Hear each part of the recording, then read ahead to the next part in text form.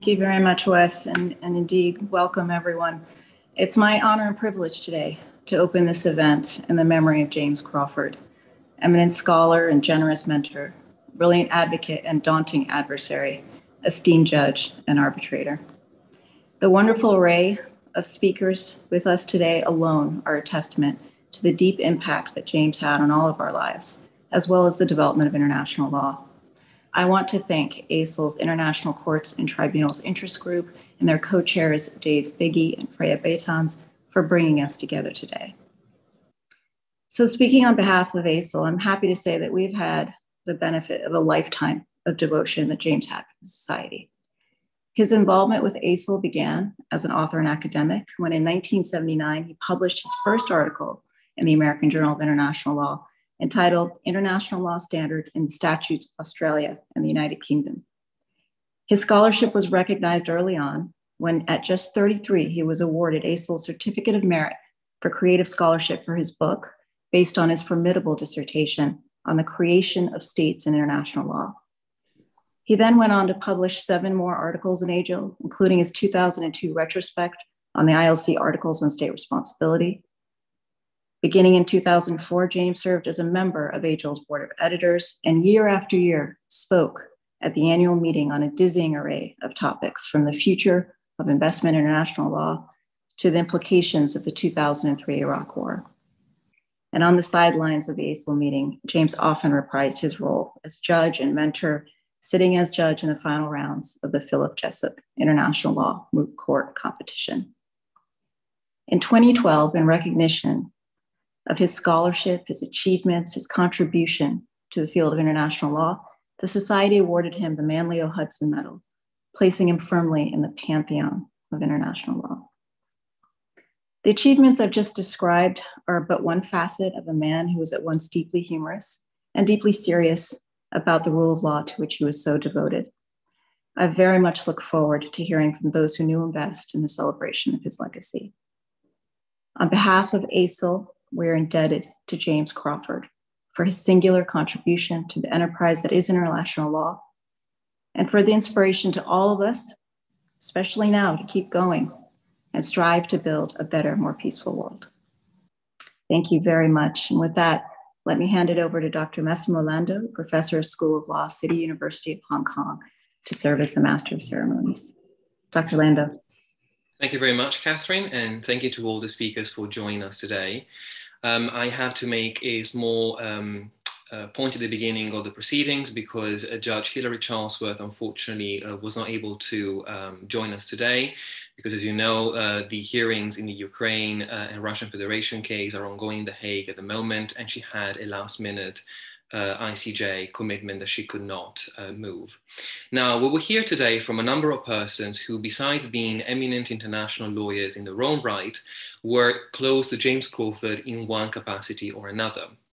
Now, James is a man who really needs no introduction, and I will not spend any more words introducing him than uh, in addition to those that Catherine has already uh, put into, uh, into the event for us. Now, our speakers will in turn speak about James Crawford in one of the several capacities in which he worked as an international lawyer over the years. We will hear about James Crawford as a judge and an arbitrator from Ms. Loretta Malintoppi and Professor Giorgio Gaja. Then we'll hear about James Crawford as an academic from Sir Christopher Greenwood, followed by James Crawford as a research mentor, Dr. Rumiana Yotova and Dr. Ralph Wilde. Uh, Mr. Paul Reichler and Mr. Simon Olleson will speak to us about James Crawford as a counsel before international courts and tribunals. And we will finish up the event with a few remarks from Professor John Dugard, who will speak to us about James Crawford as a member of the International Law Commission. Now, without further ado, I would like to give the floor to our first speaker, and that is Ms. Loretta Malintoppi. Thank you very much, Loretta. Thank you very much, Massimo. And I would like to Thank you in particular for inviting me to participate in this event commemorating James, whom we sorely miss. And I'm particularly pleased to be sharing this first panel with Judge Giorgio Gaja, whom I admire greatly.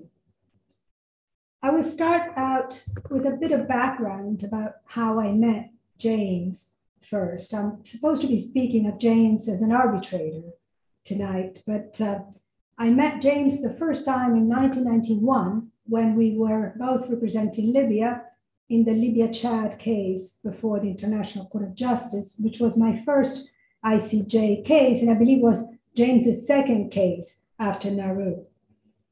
And as I was thinking of my remarks for today, I recall that in the 30 years that I've known James, I've worked with him and against him as counsel in nine cases before the ICJ and in state to state arbitrations. I've also pleaded before him as a judge in the ICJ. But in contrast, I've only sat in an arbitral tribunal with James once in a case which was an ICSID arbitration in the field of renewable energy between two German companies and the Kingdom of Spain, where he was appointed as the presiding arbitrator by the ICSID Secretary General. So, all in all, I have more memories and anecdotes of James as counsel than as arbitrator. But as I ponder this a bit more in search for something specific to say about James as an arbitrator, I realize that the same intellectual qualities and human traits that were so characteristic of James simply as a person shone through particularly clearly in his work as an arbitrator. In an article that he published in the American University Law Review in 2019, James wrote about the ideal arbitrator and mused on whether such a perfect arbitral being does exist in real life. And he concluded that there can be no ideal arbitrator. And he said that tribunals are composed of a variety of legal backgrounds and, as such, will tend to produce better reasoned decisions. And in his view, particularly in investor state arbitration, which was a case that we had, more diverse tribunal might be better suited than uh, to the resolution of this type of disputes than a straight hand, and I'm using his words, a straight hand of commercial arbitrators or a single species of international law. So as an arbitrator, I believe that James combined exceptionally the qualities of an international lawyer, but also understood the value and contribution of commercial lawyers from a variety of legal backgrounds. With James, there was no civil law or common law divide. He was, but this was particularly evident in his work as an advocate, but was also apparent when he sat as an arbitrator, at least in my very limited experience. I should also add that James took very seriously the question of independence and impartiality of arbitrators. He wrote extensively and spoke on the subject. To my knowledge, he was never at the receiving end of a request for disqualification or a challenge. And he appreciated the different expectations of the presiding arbitrator as opposed to a party appointed arbitrator and assimilated the role of the latter to a judge ad hoc in ICJ proceedings. So that party appointed arbitrators ensure that the arguments the party that appointed them be fully understood and considered by the tribunal while making sure that these considerations do not override their independent professional judgment. When it comes to story and anecdotes, I have many, but they don't concern so much uh, James as an arbitrator. But perhaps one of the most striking qualities that James had was the clarity and lucidity of his thought process. For some of us, and certainly I, revise and edit their drafts numerous times, this exercise seemed effortless, James. He could sit down and produce a document in practically final form the first time around. I remember one time when we worked together as counsel representing Iran in the ICJ oil platform case, and James was working on his rebuttal speech for the following day, and it was probably very early in the morning. He typically worked very early in the morning. He spilled coffee over his laptop, which promptly crashed, and he lost his speech completely. After a first reaction of legitimate anger and frustration and some activities, frantic activities from the IT team who eventually found a new computer, he started drafting again with a vengeance.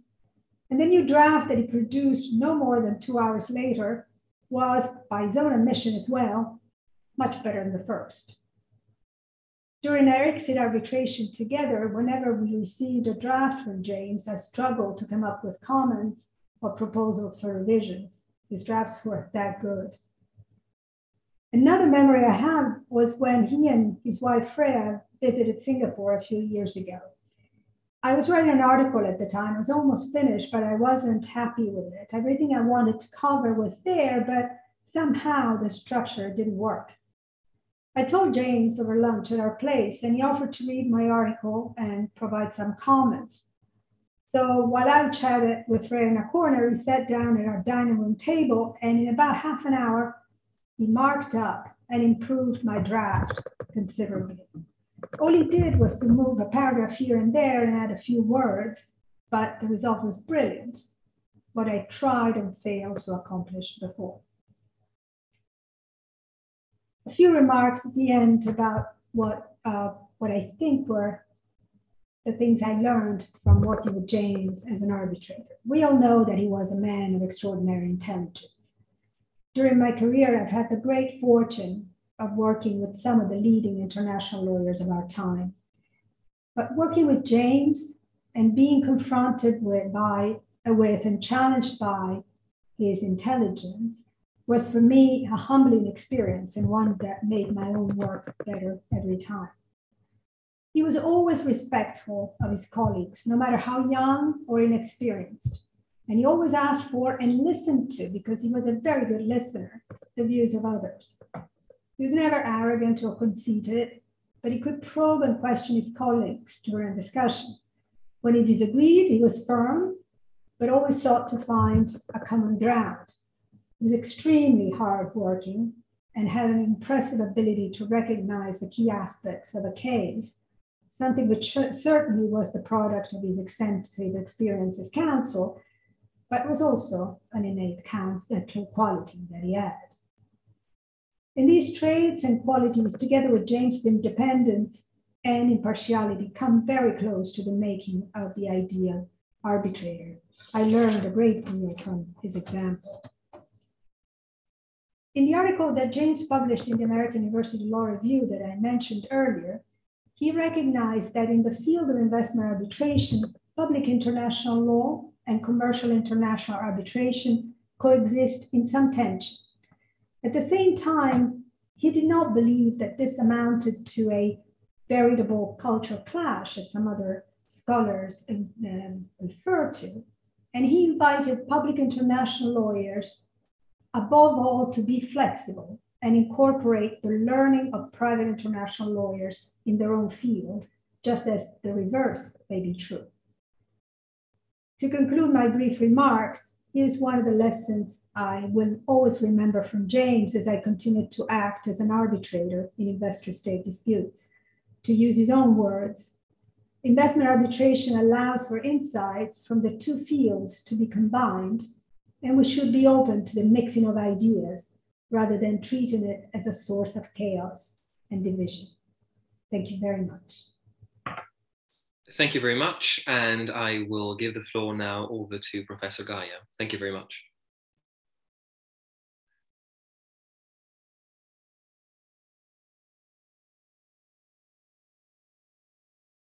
Thank you, Massimo. I'm very grateful to have been invited to this webinar for giving the opportunity to share a few memories of a great scholar and practitioner who was also a dear friend. At the court, I was one of the judges who was closest to James. We had a long-standing friendship and similar views on several key issues of international law. I had been a member of the International Law Commission when James led it to adopt the Articles on State Responsibility one of the Commission's greatest achievements. During the drafting of these articles and their commentaries, we had frequent exchanges, so much so that James once told me that when he became aware of certain shortcomings, luckily not many, in the adopted text, he would blame me for not having pointed these out during the preparatory work. James' brilliance as a scholar and as a counsel and his extensive involvement in judicial and arbitral litigation made him uniquely qualified to have a leading role in the court. However, his contribution to the court's work was limited by two factors. First, he had to recuse himself several times because he had been involved in the preparation of the case by one of the parties. He also could not take part in the advisory opinion on Chagos. In more recent years, his health limited his participation in other cases. Thus, out of the 20 judgments on the merits or on preliminary objection that the court gave during James' term of office, he took part in only 13, and for some recent judgment, he could attend only part of the deliberations. It is a source of deep regret that James did not have the opportunity to display his talents as a judge more fully.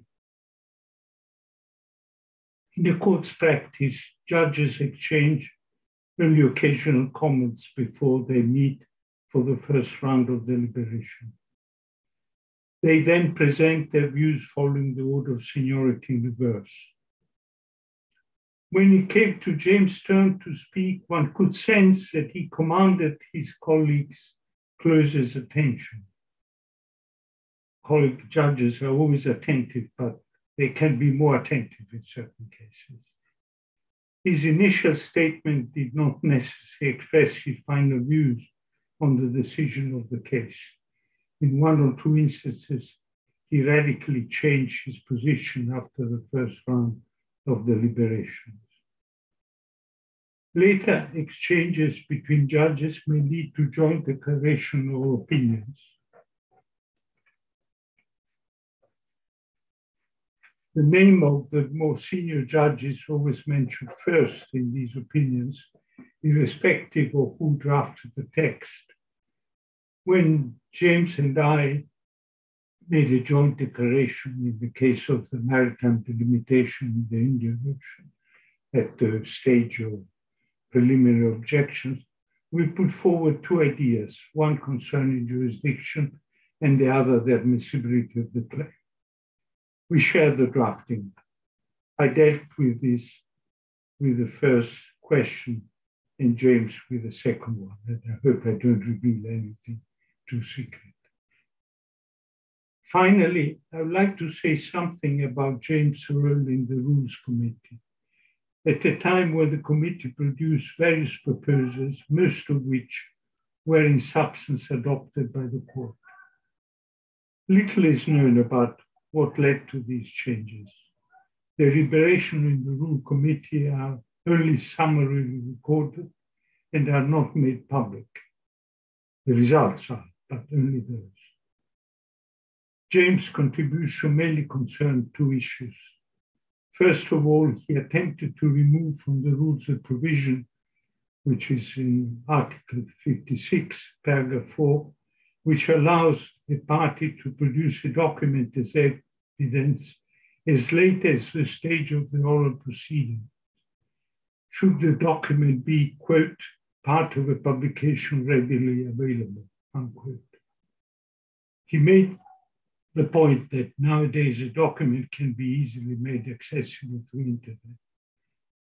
He argued that the late publication, the late allegation of a document may be unfair to the other party, and that a strict criterion was needed in the interest of a more appropriate handling of evidence. In spite of the cogency of James' argument, there was no agreement in the plenary on the wording of the text designed to replace what is incontrovertibly an inadequate phrase. Thus, this proposal did not succeed. James was, on the contrary, successful in proposing a more active role of the court with regard to the implementation of provisional measures while the principal case is pending. Since the LaGrand judgment, provisional measures are considered to be binding. Yet the court had failed to build a monitoring process. It wasn't working on the replies on, on the comments by the parties. The new Article 11 of the Resolution on Internal Judicial Practice is based on James' proposal. For each case in which provisional measures are adopted, the court now appoints a committee of three judges with the task of studying the file relating to the provisional measures and making proposals to the full court.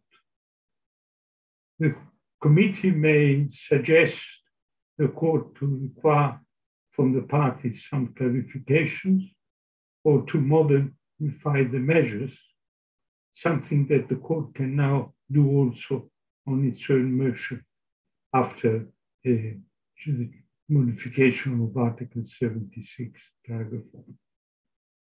These may be small steps, but they are definitely steps in the right direction. Thank you.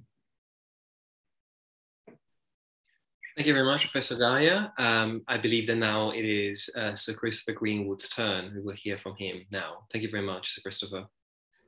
Thank you very much, Massimo.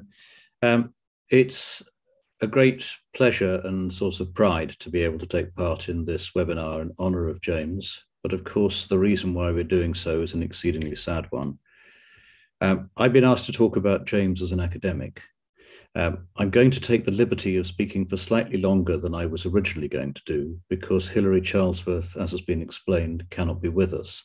And while I wouldn't dream of speaking for Judge Charlesworth, I am going to make a couple of the points that she said she would have made had she been here. Now, although my brief is to talk about James as an academic, I think it's important to realize that with James, his world was not divided up into compartments. The academic rigor, the intellect, the learning that he brought to his university teaching and writing was just as present in his work as counsel, in his work as um, an arbitrator, and latterly as a judge. And indeed, many of us knew him in more than one of those capacities. There was a period of just two years in the uh, early 2000s uh, when he and I, by my reckoning, appeared as counsel on the same side in one case, on opposite sides in another, as expert witnesses for opposing parties in an arbitration, uh, I appeared in front of him in an arbitration, and he appeared in front of me in an arbitration. Uh, later, we sat together as judges, although for far too short a time. Now, the sheer scale of James's academic writing is something which is, is hard to take into account in a way. It's hard to measure. Just to take the four of the big books for which he's famous The Creation of States in International Law, his editions of Brownlie's International Law, his book on state responsibility, and his Hague Lectures, the general course, uh, given while he was appearing as counsel in the International Court at the same time in the whaling case. But even those are only the tip of a much larger iceberg. There is a huge body of writing, um, probably one surpassing that of almost any other academic, and certainly uh, unmatched in terms of quantity and quality by anyone else. And one of the things that was remarkable about his work is the sheer breadth of his scholarship and his interests. Walter Scott once said that a lawyer without history or literature is a mere mechanic, a mere working mason. If he has some knowledge of these, he may venture to call himself an architect. Now, today we might cavil at the rather patronizing reference to mere working masons and mere mechanics. But what I think we would all agree on is that James was very much an architect. He was somebody whose writing on international law was infused not just with an unrivaled knowledge of international law, but with an extraordinary grasp of history and literature, and indeed art as well. If one looks at his Hague lectures from 2014, they include, alongside the normal references to uh, legal texts and case law, references to Thucydides, to Ezra Pound, and indeed to a more modern cultural point of reference, the excellent satirical show Yes Minister, which is quoted at the beginning of one of the lectures. Um, Hilary, in her article in the Leiden Journal of International Law, uh, makes the point that he also spent a great deal of time choosing the work of art that adorns the front cover of the paperback edition of the lectures, which I will hold up for you now. Kenneth Martin's painting of the same name as uh, James's course of lectures, Chance, Order, Change. He also had a remarkable ability to bring together theory and practice in his writing. If you look at his Cambridge Companion to International Law, the dialogue there with Martti Koskenniemi, of the, um, the, the disappointed positivist and the naive cynic, is one of the best pieces of theoretical writing that you can find. But it sits alongside essentially practical work. Um, he was a builder of international law. His book on state responsibility, which came out of his work at the International Law Commission on the same subject, is something which frames certainly how we see international law on state responsibility. But I think it frames what is the international law on state responsibility. And I should add that James would greatly have enjoyed the debate about whether uh, what we see as the subject and what the subject actually is can be separated in any way. Um, it's a debate that he would definitely have enjoyed taking part in. Or if you take his book on the creation of states in international law, that is the ultimate work of reference and is likely to remain so for all time coming about how states are created and indeed sometimes how they disappear. Uh, it's a work that is replete with historical scholarship, with a mastery of the public records of more than one country. It's a way of, it is it shows how a host of colonies and other territories ended up as independent states. And what precise form that path to independence took. It's a quite remarkable book, and I can remember when I sat as an arbitrator in the Chagos arbitration, having a wonderful dialogue with James, or rather asking a question which provoked a wonderful answer from James about the creation of states and agreements made between a colonial power and the outgoing colonial government on the eve of independence, a subject which I'm fairly sure uh, had not been written about anywhere, and which James had to deal with by not exactly making it up as he went along, but by drawing on the depth of his learning to answer a question that perhaps wasn't what he had expected in that particular case. I'd also mention James as a teacher in academic life because he would have been one of the first to disparage the modern fashion for distinguishing between the researcher and the teacher. For James, they were one and the same. If you were any good as a researcher in international law, you taught the subject, and you taught it in a way that inspired people to take it up.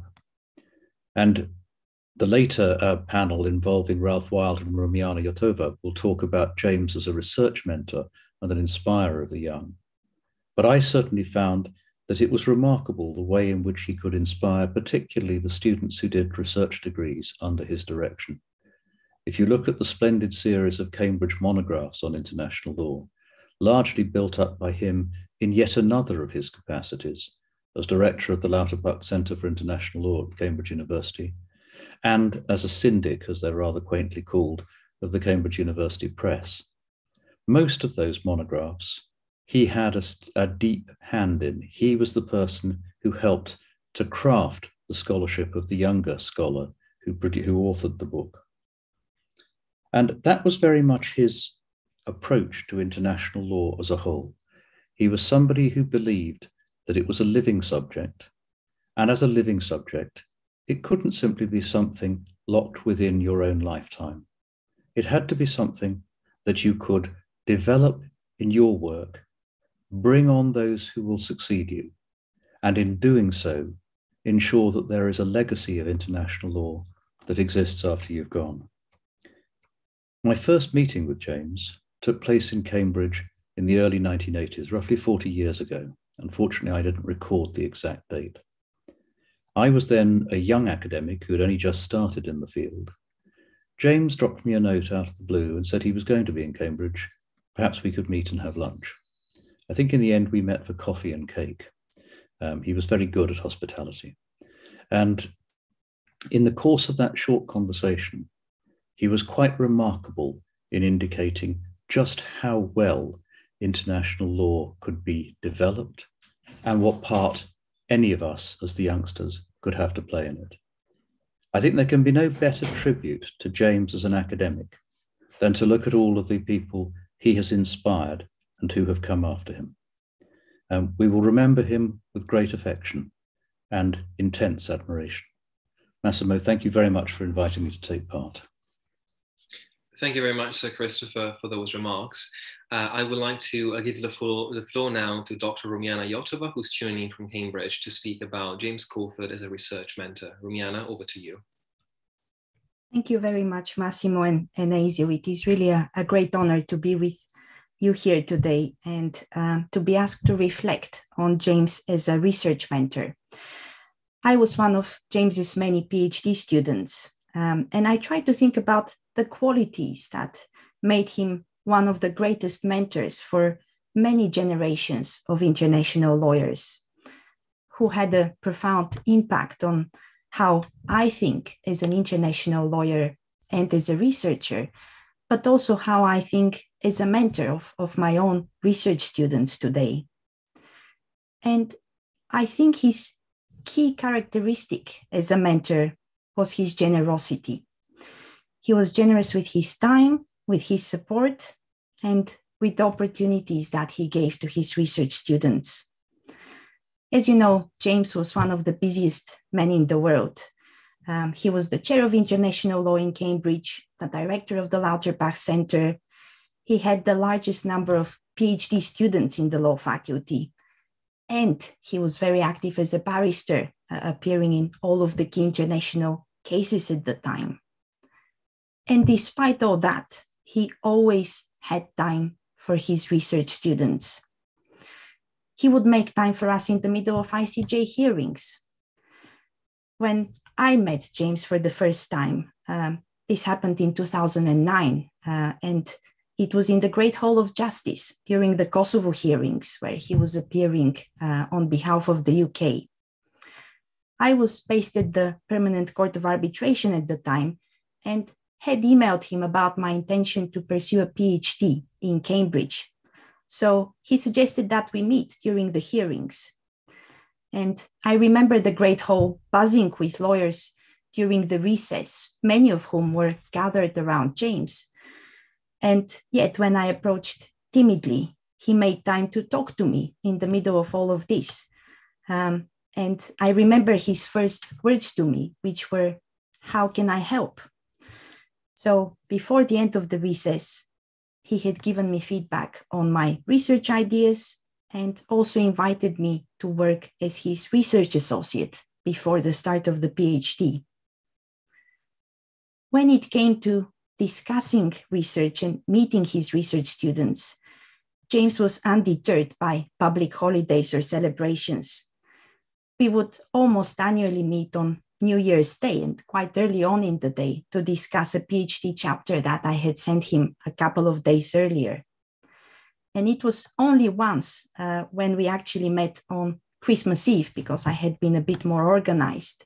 Um, so he invited me to drinks with his family before uh, we moved on uh, to proceed with the work. James placed a lot of trust and confidence in his research students and he offered those of us so inclined to work alongside him uh, on international cases as his research associates. We were all part of the James Powerhouse, experiencing international law as it happened and learning the art of advocacy from one of the very best. James always listened and he never imposed his opinion. He encouraged you to develop your own most of our academic discussions started with James asking the question, What did you think about what was going on? And then he was genuinely interested in hearing your answer. Another strong quality that James had as a mentor was he always knew how to motivate his research students. I remember our first PhD meeting when I told him I wanted to write about international public policy. And James um, had some reservations about this topic. He thought it was difficult and that perhaps there weren't enough primary materials for a PhD in it. But instead of telling me not to do it and do something else, he gave me one month to convince him that I could do it. And this really spread me into action. I remember hectically going through uh, domestic and international law reports um, and ending up reading cases from the Court of Arbitration for Sports. But in the end, I did manage to convince James that this was a topic worth pursuing. It was only years later uh, that I learned that James's own PhD supervisor, Sir Ian Brownlie, had also given James a month to convince him of his topic about the creation of states. At the end of each of our PhD meetings, James would always tell me to press on. And here we are today, pressing on as he wanted us to, and trying to pass a little bit of his great legacy as a mentor to the next generations of international researchers. Thank you very much, Rumiana, for those very touching remarks. Um, I would like to uh, give the floor now to uh, Dr. Ralph Wilde. Thank you very much. Thank you. Um, it was an immense uh, privilege, pleasure, and honor to be supervised as a doctoral student by James over two decades ago. The passage of time since has deepened the sense of great fortune I feel at having had the opportunity of sustained and deep contact at a particularly formative time with someone capable of having such a positive personal impact. I'm reminded by the inevitable ups and downs of life that things could have easily been so very different, and so how precious the experience was. James was frank, honest, unsparing in criticism, unwaveringly supportive, fair, and sensible. Ema emails would arrive at all times from around the world. Often responses were instant. Given all that he had to attend to, it seemed magical that there was one person doing everything that he did. And too good to be true that there was time in all of this for a doctoral student. I remember being with him once in his office as he tapped out something on his computer keyboard and realized he couldn't touch type. I wondered whether this remarkably labor intensive writing mode somehow pushed the already exceptional Crawford cognitive process to an even more intensive level, as the time costs involved in verbosity and revisions would be so high. Certainly, his missives and comments on drafts constituted acutely pithy remarks conveying a depth of authority, significance, and merit. James could only do everything he did by always and only ever getting straight to the point, distilling things to their essence as quickly as possible. His intellect was so rare it had to be deployed to the maximum effect.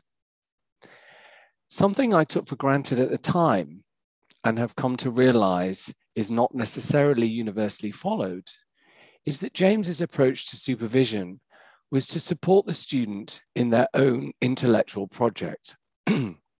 Excuse me, from topic choice to method and approach. Although everything I came up with was put under intense scrutiny, this was always and only on the basis of challenging the ideas in order to make them better. Never did I feel there was even the mildest expectation, let alone suggestion or pressure, to follow a particular path.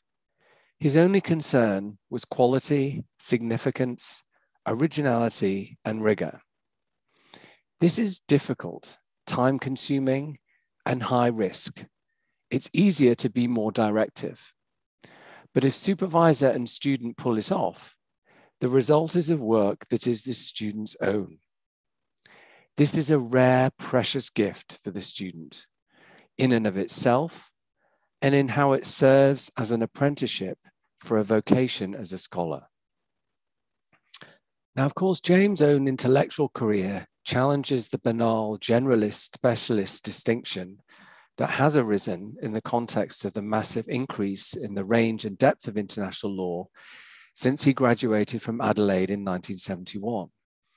James, the quintessential generalist, made seminal contributions in every specialist area of law he engaged with. And surely the lesson here is that one cannot hope to appreciate the specific without a complete authoritative understanding of the general. This breadth of subject matter was then taken to another level by the remarkably rich and diverse range of approaches enabled through the work of his students. This was only possible because of James's open approach to supervision, allied to an open-minded ecumenical approach to the field and its possibilities.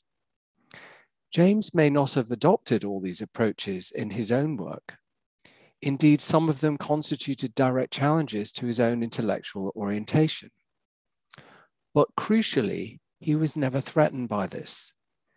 Some people said James was arrogant, but the impression I got from the comments he would make about his own abilities was that this was not reflective of a desire to be better than other people or to put them down. I got the impression that James would have been perfectly happy had everyone been as good or even better than him. The remarkable effect of James's ecumenical approach was that his students, and here I talk about the others only, not also including myself, have produced works of international law that are not only path breaking and of the highest quality, but also incredibly diverse in subject matter, approach, and method. There is a Crawford School of International Law in terms of the people who studied under him. But this is not a school of a single approach.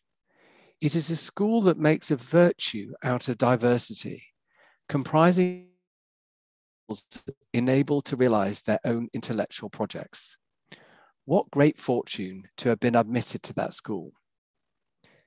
Finally, and more personally, for me as a British person from a family in the northwest of England, whose parents grew up in a modest two up, two down terrace house with no bathroom, where one had previously stayed at school, no one had stayed at school beyond the age of 16, and a father who was only partially literate, James's lack of pretensions, uh, pretension and absence of grandness and his exclusive focus on aspirations to merit and excellence were of immense significance to me. To have a Cambridge experience that enabled someone of my background, riddled with class related insecurities and associated behavioral awkwardnesses and gaucheness, to thrive, is a mark of the positive significance of James's personal character and the especially beneficial impact of that on the university, his students and colleagues. The,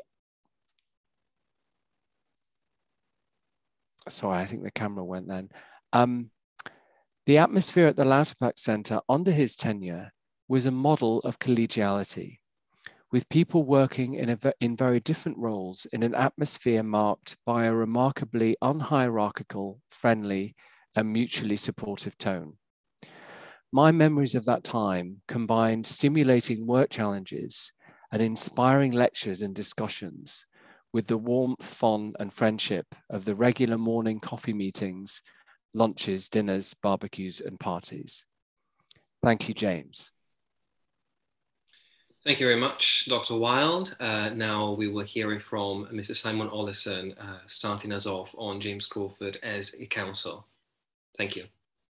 Thank you, Massimo. I'm very grateful to the organisers for the invitation to speak at this event in memory of James. Together with Paul, I've been asked to speak about James's counsel, although my comments will range slightly wider. I worked for and then with James over a period of about 14 years, and he was my mentor and latterly a colleague and a friend. Whilst a second year student at Cambridge, I had attended the lectures on state responsibility given by James on the undergraduate public international law course. But I first came to work with him in the summer of 2001 through NYU's ILC intern program, when I had the great good fortune to be assigned to assist James during the final stages of the Commission's work on state responsibility. I continued to work as James's assistant over the next two years, first while studying for the bar in London, and then back in Cambridge whilst undertaking a one year graduate research degree. Indeed, much to the annoyance of my supervisor, I spent probably as much time working for James as I did on writing my thesis. But that time was invaluable as an apprenticeship in the real practice of international law. Having qualified, I then worked with James on professional matters over the next 10 years or so until his election to the court. And that brings me to the first point I would like to highlight, which was a point which had already been mentioned, which was James's generosity and support, in particular in mentoring and bringing on more junior lawyers. Um, that generosity was a defining characteristic and it extended across all his activities. Given his very heavy caseload, which I'll come to in a moment, James normally had at least one and sometimes more research assistants based at the Lauterpacht Centre to assist both on professional matters and on academic projects. And many of the long list of past occupants of the small antechamber leading to James's office have gone on to careers in international law, both in practice and in academia. This includes a number of practitioners at the English bar and elsewhere who owe a very great debt to James for his support in helping launch their careers. I very much count myself as one of them. When I had been in practice for about three years, it was thanks to James that I had my first, inform, my first formal instruction on the case before the ICJ in the Black Sea delimitation, as part of a wonderful team which also included Alain Pellet and Vaughan Lowe. In addition, it is thanks to James that I made my debut before the court. When it came to the hearings, I had assumed my role would be principally to assist James.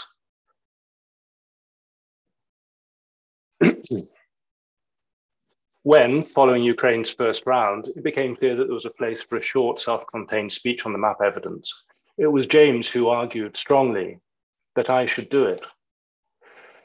The second point I wish to highlight is James's energy and exceptional work rate. He had a truly prodigious appetite and capacity to work.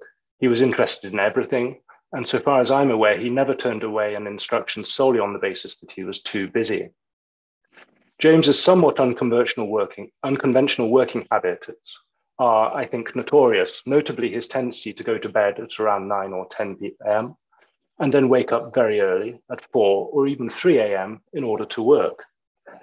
It was entirely normal to receive a reply to an email or detailed comments on a draft at 4 or 5 a.m. Undoubtedly, sometimes this was because he was in the time zone on the other side of the world, but it was by no means always the case. And at times, this caused sleepless nights also for clients.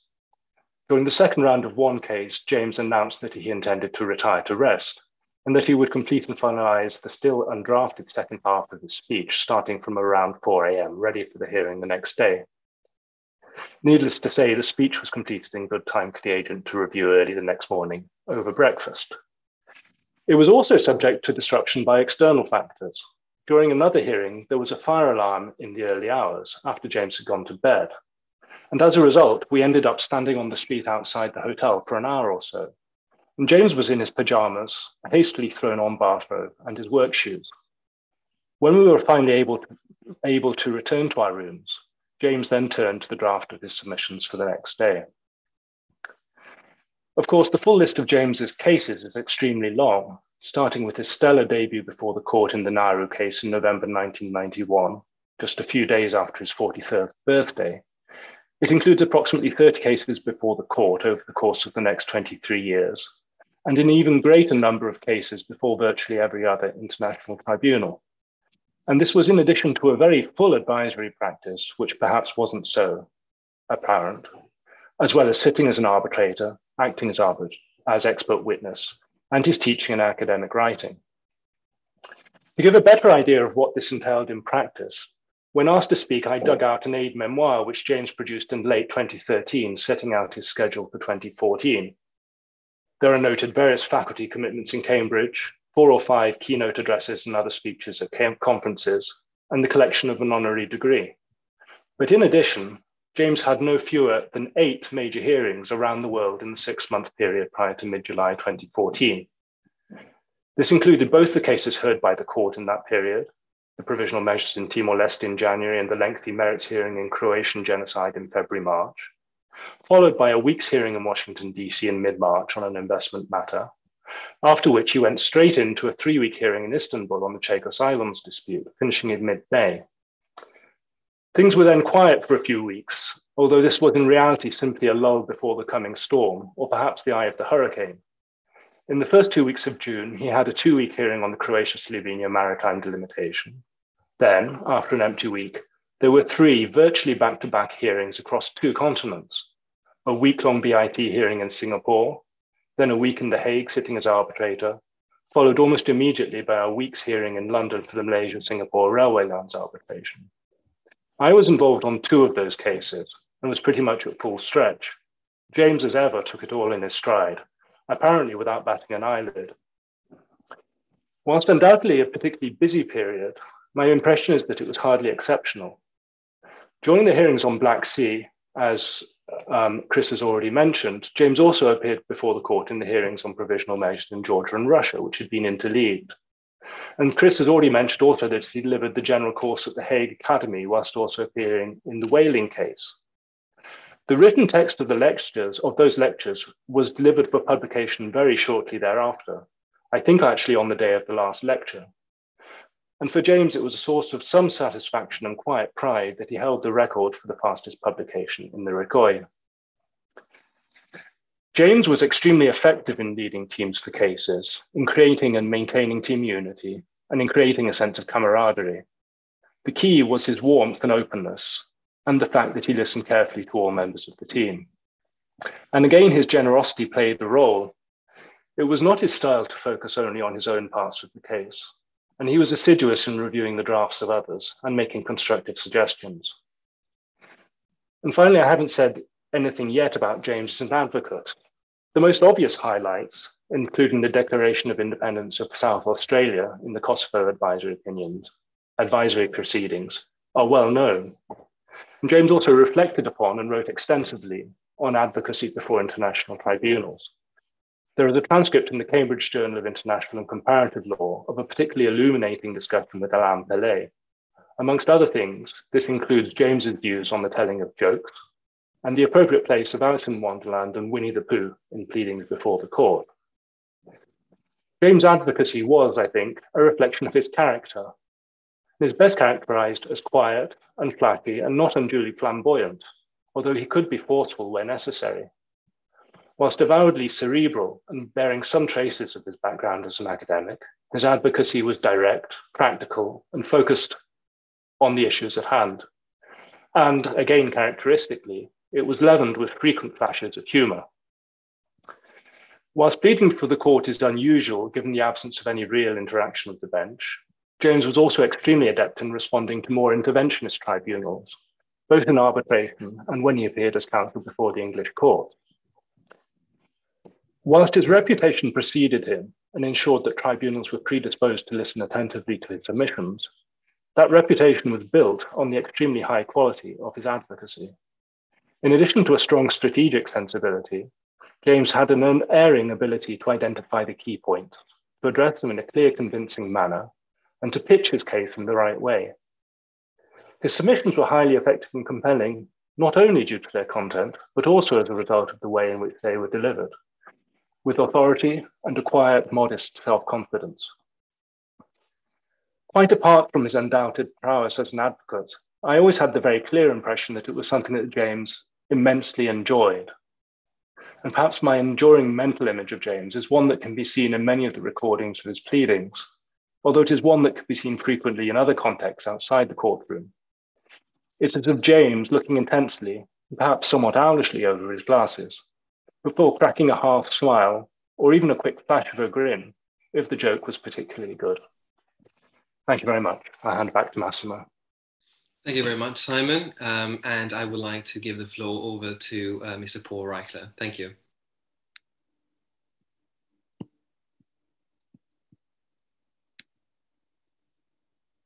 Thank you very much, Massimo. It is a great privilege for me to participate in this event in honor of James Crawford. Like Simon, I've been asked to speak about James as an advocate, which I will do, but I will also speak about him as a colleague and a close friend. As an advocate, James was the best I ever saw. And, and I've been around a long time. I think all of us who have been fortunate to practice before the court with some frequency considered him the best among us, certainly among English speaking advocates. And I've had plenty of opportunities to form this judgment. I served alongside him as co counsel for Georgia before the ICJ, for Bangladesh before ITLOS, and for Bangladesh and Mauritius in interstate arbitrations. And we were opposing counsel in several disputes in the, in the court between Nicaragua and Colombia and between Nicaragua and Costa Rica. The first thing you noticed about James the advocate was how the court took notice of him. Invariably, every judge or arbitrator sat up, leaned forward, and focused his or her fullest attention on the man at the podium. James commanded their attention like no other advocate because they respected his authority on the law, his analytical prowess, the clarity of his argument, and his absolute and total honesty and integrity. Herman Melville, author of Moby Dick, once said about Ralph Waldo Emerson, one of my country's greatest sages, quote, I love all men who dive. Any fish can swim near the surface, but it takes a great whale to go downstairs five miles or more. James had a great whale of an intellect, second to none. It's therefore quite fitting that he led Australia's team in the whaling case. He was not only brilliant, but clever as others have said, he knew how to use humor as a form of argument better than anyone I have ever seen. And he loved doing so. He was tickled by his own jokes, and he worked hard on incorporating them just right in his speeches, tailoring them until he regarded them as perfect. He refined his delivery to a fine art. Now, it's not easy to make fun of the other side's argument, which is fair game, without crossing the line into disrespect, which is not appreciated by the court. But James knew just how far to go and just how to go there with an impish smile or a mischievous twinkle in his eye while delivering a devastating blow. As co counsel, our entire team took heart whenever he rose to speak. A sense of excitement filled our counsel table. He was our champion, and we never doubted that he would come through, that he would be James Crawford. But it was a very different story on the other side, and I was there many times. We held our breath during his whole speech, hoping the beating we would take would not be too bad.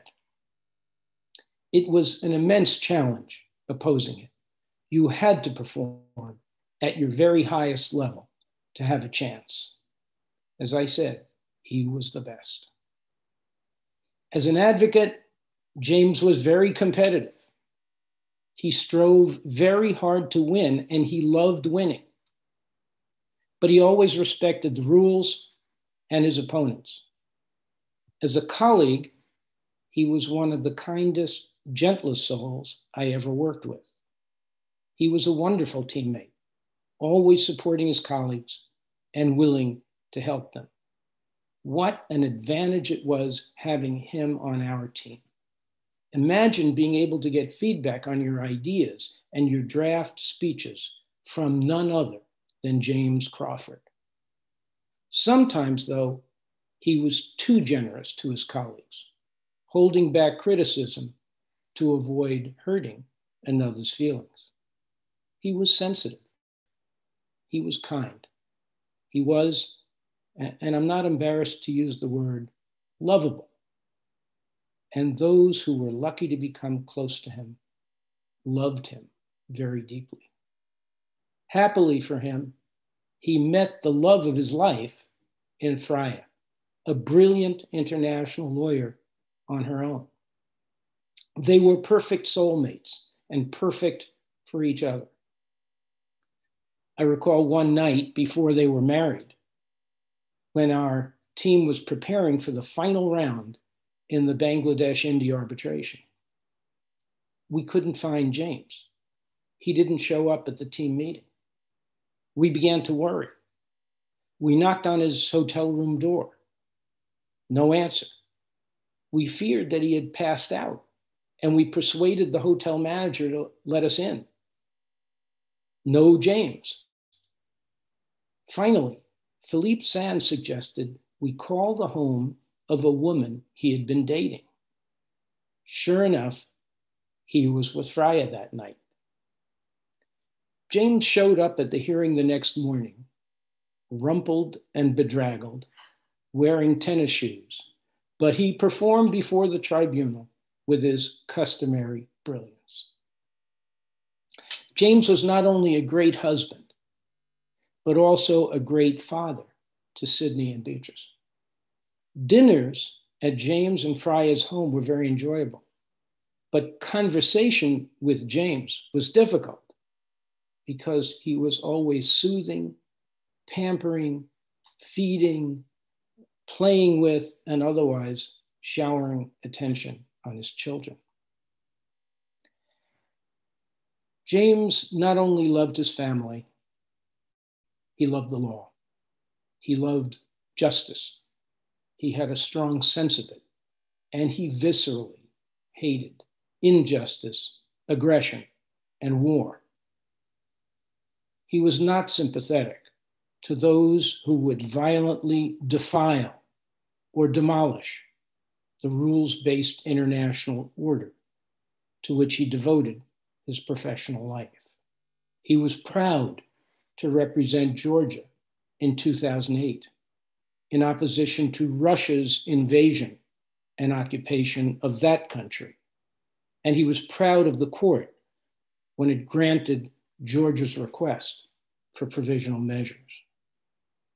For these reasons, I believe that in a ceremony in his honor, James would not wish us to ignore the terrible events that have been occurring over the past two weeks in another part of Europe. We cannot know with certitude what exact words James would have used about Russia's unprovoked aggression against Ukraine, its wanton destruction of Ukrainian cities, or the massive civilian casualties it has caused. Although we know his words would have been accurate, intelligent, and profound. I am confident, however, that two of his words would have been these Slava Ukraina, glory to Ukraine. In passing, James has left a big void in our profession, in our world, that no other mortal can presently fill. We miss him terribly, but we are comforted by the fact that his teachings live on in his many students and publications, and his spirit lives on in all of us whom he touched. In his name, we must dedicate ourselves to restoring, strengthening, preserving, and protecting a rules based international order that tolerates only the peaceful settlement of disputes in accordance with international law. Thank you very much. Thank you very much for those remarks, Mr. Reichler. And I would like now to uh, give the floor over to our last speaker, Professor John Dugard. Professor, over to you. Thank you very much, Massimo. Let me begin by saying that James and I were very close friends for over 30 years in different parts of the world. I had the misfortune, I suspect, to spend the last few months with James. Uh, when James was a member of the court, uh, he lived fairly near to uh, me in The Hague, and I shared with him those last few months, uh, which were really terrible. And uh, Paul has already referred to Freya and Sydney and Eleanor, and I simply wish to place on record the way in which they bravely uh, helped and assisted Jane at, at this very, very difficult time. Today we've heard uh, people speak about James the man, James the judge, James the arbitrator, the academic, uh, the counsel. I want to speak this afternoon about James's legacy, his contribution to international law and to the international world order. And I do this largely by reference to his work at the International Law Commission, because it, I think it is here that James made perhaps his greatest contribution to international law. James was a member of the International Law Commission for 10 years. He was elected in 1992 and he uh, retired in 2001. Uh, in the first quinquennium, James was appointed as chairman of the working group on the uh, drafting of the statute for an international criminal court. And it was this uh, draft that served the basis for the uh, Rome Conference 1998 and resulted in the uh, Rome Statute of the International Criminal Court. And today it is often forgotten that uh, James was largely responsible for uh, initiating the structure and the foundation of the International Criminal Court. Of course, the Rome Conference did depart in many ways from the uh, proposals of the International Law Commission, but the structure and the foundations of the uh, International Criminal Court were laid by James as chairman of the working group in the International Law Commission on uh, the International Criminal Court. I want to speak mainly about uh, James as a special rapporteur on the uh, responsibility of states uh, for internationally uh, wrongful acts, because I think it is here that he made perhaps his greatest contribution to international law.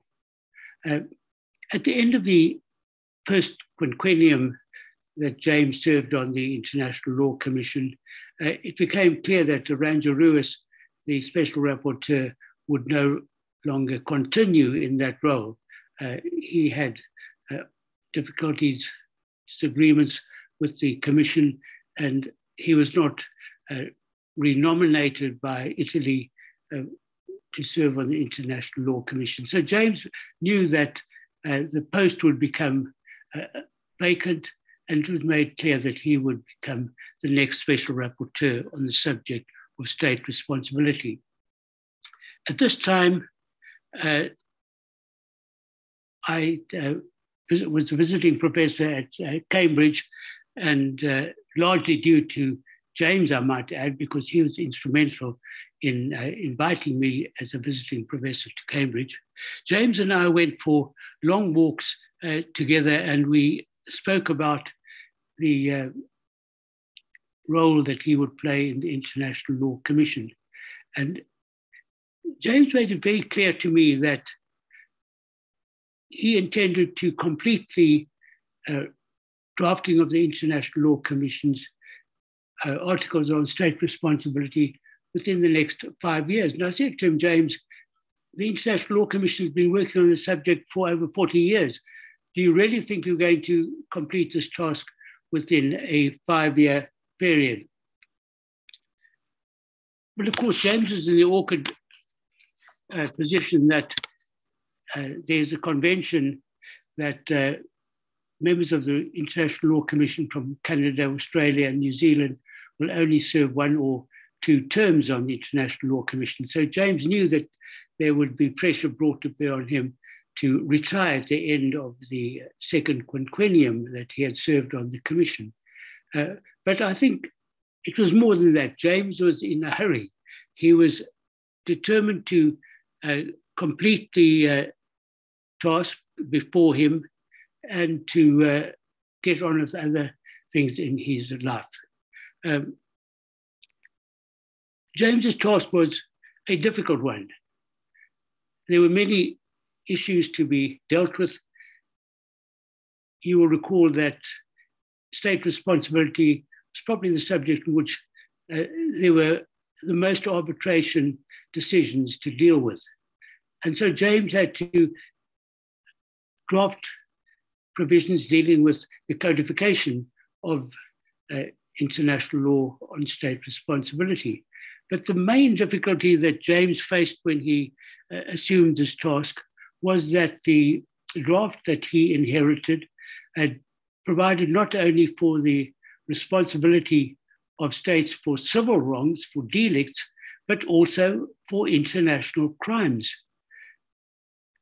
Of course, you may think this is rather strange today, but you must recall that the Rome Conference of the uh, on the International Criminal Court had uh, recently met, and there was a spirit of idealism abroad and a determination not only to hold individuals responsible for international crimes, but also to hold states responsible. And this was the uh, environment in which uh, James became special rapporteur. Now, you may think that this was uh, a silly issue that uh, the International Law Commission could not possibly have uh, dealt with the responsibility of states for international crimes. After all, there was no International Criminal Court to deal with the criminal conduct of states, and no attempt had been made to deal with the general principles of criminal law in respect of states, such as how to uh, determine the intention of a state or the question of punishment of a state. Uh, but many of us on the Commission took this matter seriously. I must confess that I was one of those who uh, believed that the International Law Commission should deal with the uh, criminal responsibility of states as well. James realized that the Commission was divided on the subject, and so wisely he deferred taking a final uh, decision on this subject. He didn't reject us as a bunch of crazy idealists, but instead he respected our views and uh, said that he would consider them seriously and uh, come up with some alternative that might be acceptable uh, to everyone. And he did. He came up with what one might describe as a two tier system, which distinguishes between ordinary rules of international law and uh, peremptory norms of international law. And you must remember that at this time, peremptory norms of international law were not generally accepted. Uh, of course, the uh, Vienna Convention on the Law of Treaties had provided for peremptory norms, but a number of states, particularly France, were bitterly opposed to the idea of jus cogens or peremptory norms. And of course, the International Court of Justice had carefully avoided giving its approval to uh, peremptory norms. It only did so in 2006. And this was the environment in which James operated as special rapporteur. But ultimately, he persuaded the Commission to accept his notion of a two tier system of international law uh, in these very important principles contained in Articles 40, 41, 48, and 54 of the draft articles on state responsibility. You will recall that Article 40 provided for uh, peremptory norms. Uh, Article 41 provided that uh, states that violated peremptory norms should not benefit in any way from their acquisitions or their wrongdoing, that these should be uh, subjected to non recognition, and no state should aid any state who had violated a peremptory norm. And then we got Article 48.1, which provided that a non-injured state might uh, bring a claim or hold another state responsible for uh, violating an obligation that was owed to the international community as a whole, and Article 54, which dealt with the uh, question of countermeasures, uh, which might be brought by non-injured states in the same circumstances. Uh, of course, this was possible because this was a time of great uh, idealism in international law. The Cold War had recently ended, apartheid had been brought to an end, the Oslo Accords had brought an end to the Israel Palestine conflict, at least temporarily. And uh, it was before the invasion uh, of uh, Iraq. And international law was seen as a system of international law, not simply a rules based order as uh, presidents such as President Biden referred to it today. Uh, it was a combination of uh, positive rules of international law and values and legal idealism. James Crawford seized the opportunity in this environment to uh, propose his two tier system uh, of state responsibility. But in order to achieve this, he had to compromise on many issues with the members of the International Law Commission. The International Law Commission can be a very difficult body. James was a skillful compromiser. He would compromise on small issues, but never on issues of principle. The result was that his vision was untouched. And he did succeed in 2001 uh, in uh, producing the draft articles on state responsibility. During the time on the commission, uh, a number of us stayed in a uh, hotel in Ferney-Voltaire across the uh, border in France, uh, in Le Citadine. And James and Alain Pellet and I were all in this hotel. Uh, I had a room near or next door to Alain Pellet. And I remember if I would wake up late at night, I would see Alain's light still on at about two or three o'clock in the morning, and then I would hear a noise at about three o'clock in the morning. Uh, and that was James arriving at Alain's room with uh, to uh, hear Alain's proposals and to exchange drafts because James, as Simon Olleson has pointed out, started his working day at uh, 3 a.m.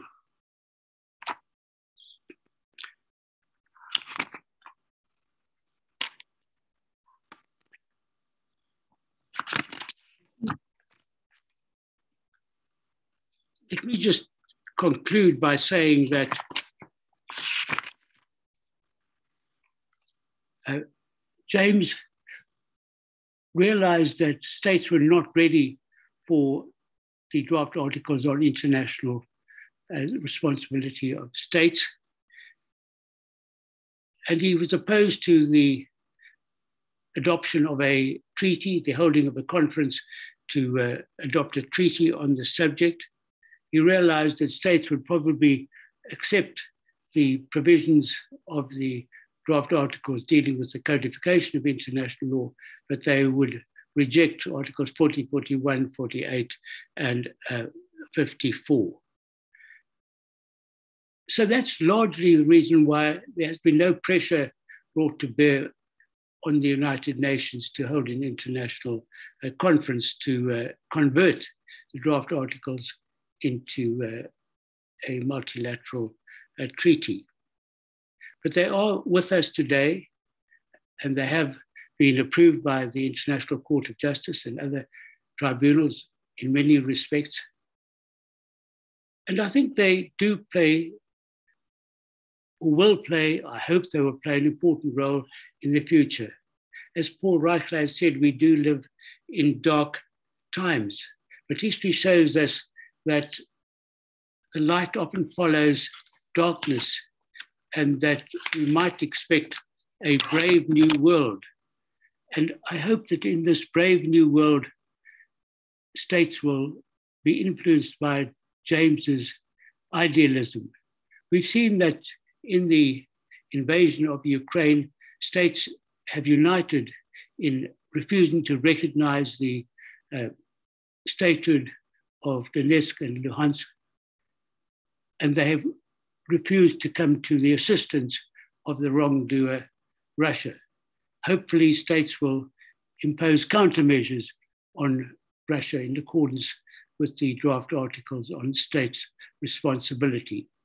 So I do believe that there is a place for James's draft articles on state responsibility in the new world order that one hopes will come about in the wake of the present crisis.